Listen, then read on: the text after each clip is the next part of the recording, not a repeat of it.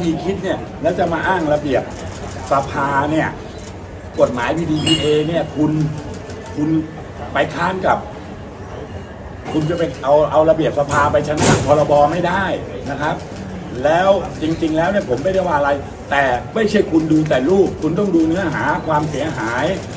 ผมไม่อยากจะเถียงนะครับ แต่ในเมื่อบอกมาอย่างนี้ ผมอาวุโส แต่อาวุโสที่มีสติมีสมอง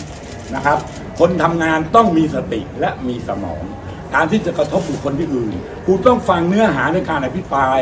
ว่าผู้ที่มีรูปเนี่ยมันยังไงนะครับ คุณต้องถาม ต่อไปนี้ผมก็จะเอารูป คนที่ว่าขึ้นได้ระเบียบสภาขึ้นได้ แล้วผมด่าได้ใช่ไหมอย่ามาเถียงกันเรื่องแบบนี้ ผิดต้องยอมรับผิด คุณจะมาอ้างอะไรคุณต้องอ้างว่าความเหมาะสม การทำงานต้องมีวิจารณญาณในเมื่อเกี่ยวกับบุคคลอื่น ของพรรคภูมิใจไทยส่ง แค่เป็นรูป AI ยังไม่อนุญาตเลยครับ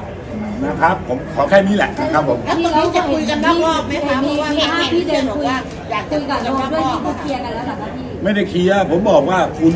ไม่ชัดเจน คุณทำแบบแอบแฝงไม่ใช่ลูกผู้ชาย แค่นั้นแหละครับ แล้วแล้วก็แบเห็บนที่เห็นที่พี่เชษฐ์บอกว่าไปเจอข้างนอกให้ได้คุยกันให้ข้างนคุอยกกักันนข้างนอกจะได้คุยกันนะคะเรื่องนอกรอบไหมหมายถึงประธานรองประธานสภาค่ะบอกว่าครับก็ไม่ทราบจะท้าไปต่อยหรือเปล่าวันนี้ไปพูดบอกว่าคุยกันผมผมข้างอ่านอกได้ข้างนอกได้ผมคุยเฉพาะในเรื่องของงานแค่นั้นครับผมนะ